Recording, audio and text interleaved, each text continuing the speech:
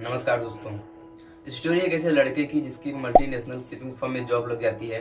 काफ़ी अच्छी खासी सैलरी होती है। कुछ साल बाद काम करने के बाद वह इंडिया वापस आता है और बंगलुरु में रुकता है, जहाँ पे कुछ उसके दोस्त काम कर रहे होते हैं और कैट के एग्ज़ाम की तैयारी कर रहे होते हैं। इस बंदे के पास मैथ्स की काफ़ी अच्छी खासी नॉलेज होती है तो इसके दोस्त उससे मैथ्स के हेल्प के लिए रिक्वेस्ट करते हैं और उनके साथ ये भी कैट के एग्ज़ाम देता है। एज ए फन देखने के लिए कि मैंने इन लोगों को सिखाया है, मुझे कितना आता है। तो यह बंदा कैट के एग्ज़ाम में हंड्रेड परसेंट स्कोर करता है, जबकि इसका पर्पज आईआईएम में एडमिशन लेना नहीं था। जी हाँ मैं बात कर रहा हूँ बैजू रविंद्रन के बारे में, जो कि केरला के कुन्नूर के छोटे से गाँव से बिलोंग करते हैं। इन्हें बचपन से स्पोर्ट्स से काफ़ी ज़्यादा लगाव था। इन्होंने आगे बताया भी कि इन्होंने स्पोर्ट्स से काफ़ी कुछ सीखा भी।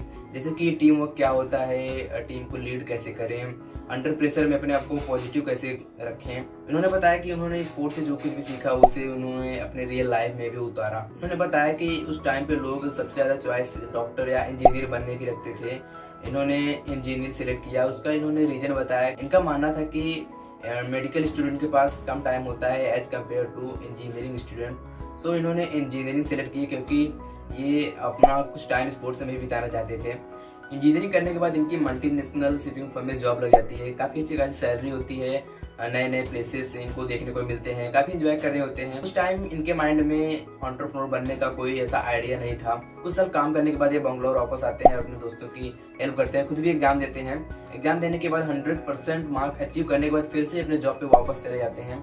सन 2005 में इंडिया वापस फिर से आते हैं और इस बार ये एक हज़ार स्टूडेंट्स को पढ़ाते हैं। इसीलिए एक छोटे से कमरे में अपने दोस्तों को पढ़ाते थे, जो कि अब एक क्लासरूम में तब्दील हो चुका था।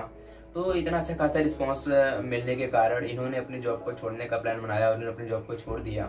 इनिशियली ये अपने वर्कशॉप्स फ्री में करते थे, लेकिन एडवांस वर्कशॉप्स के लिए स्टूडेंट्स इन्हें पेड करते थे। और इतने अच्छे खासे डिमांड होने के कारण ये अलग अलग शहरों में विज़िट करने लगे और दूसरी दूसरी क्लासेस में जाने लगे। जैसे कि मुंबई, पुणे, चेन्नई और दिल्ली। इन्होंने अपने इंटरव्यू में बताया कि ये जहाँ कहीं भी आते थे, पूरा ऑडिटोरियम खचा खच भरा होता था। तो कई वर्कशॉप ये स्टेडियम में लेते थे। एक बार इनका एक मैथ्स का वर्कशॉप हुआ, जिसमें बीस हज़ार स्टूडेंट्स ने पार्टिसिपेट किया। और अब तक ये काफ़ी अच्छे खासे फ़ेमस टीचर बन चुके थे। इनके पास काफ़ी अच्छा एक्सपीरियंस आ चुका था।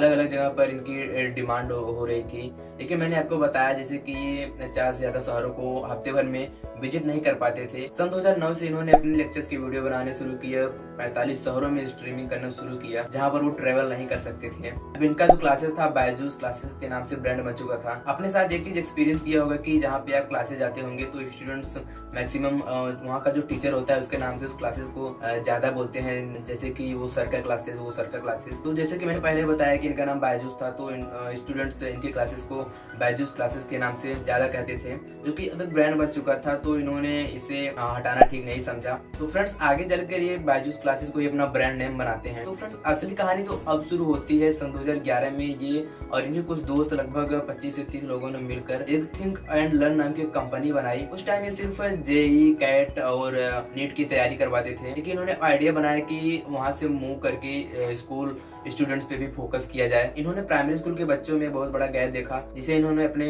बचपन में भी एक्सपीरियंस किया था। प्राइमरी स्कूल्स के जो टीचर होते हैं, वो कॉन्सेप्चुअल क्लैरिटी की जगह अदर चीज़ों पे ज़्यादा फोकस करते हैं। तो इन्होंने अदर चीज़ों पे ज़्यादा फोकस ना करके इन्होंने कॉन्सेप्चुअल क्लैरिटी पे ज़्यादा फोकस किया और इन्होंने अपने लेक्चर फोर्थ स्टैंडर्ड से लेकर ट्वेल्थ स्टैंडर्ड तक फिजिक्स केमिस्ट्री बायोलॉजी पढ़ाना स्टार्ट किया। बायजूस ने बताया कि इनका मैथ्स और साइंस में काफ़ी ज़्यादा इंटरेस्ट था और बायजूस को इन सब सब्जेक्ट्स को पढ़ाने में काफ़ी ज़्यादा मज़ा आता था। इन प्रेजेंट टाइम की बात करें तो ये फ़र्स्ट स्टैंडर्ड से लेकर ट्वेल्थ स्टैंडर्ड तक के स्टूडेंट्स को क्लासेस प्रोवाइड करते हैं। हाँ इनके कोर्सेज थोड़े महँगे ज़रूर होते हैं बट जो लोग मूवी देखने में गेम्स परचेज करने में इतने सारे पैसे उड़ा देते हैं तो वो भला एजुकेशन से भला कॉम्प्रोमाइज क्यों करेंगे, जो की एक इम्पोर्टेंट चीज़ है, एक ह्यूमन बींग की लाइफ में। तो friends in present time Byju's India की तीसरी मोस्ट वैल्यूएबल स्टार्टअप बन चुकी है पेटीएम और ओयो रूम्स के बाद। इसकी वैल्यू 8 बिलियन डॉलर है। इन्होंने बताया कि इनके 42 मिलियन रजिस्टर्ड स्टूडेंट्स हैं, यानी कि पेडअप स्टूडेंट्स जो कि इनके सब्सक्रिप्शन लिए हैं। और इन्होंने यह भी बताया कि स्टूडेंट्स जो इनके ऐप पर आते हैं 71 मिनट्स कंटिन्यू इनके ऐप पे बिता के जाते हैं। इनके ऐप को 1700 से ज़्यादा शहरों के स्टूडेंट्स यूज़ करते हैं, उनके नए तरीके को फॉलो करते हैं। रिसेंटली बायजूस ने डिस्नी के साथ मिलकर कुछ नए फीचर्स लॉन्च किए हैं, ताकि वो डिस्नी के फीचर्स को यूज़ करके स्टूडेंट्स को पढ़ा सके। रिसेंटली इन्होंने कुछ एजुकेशनल गेम्स को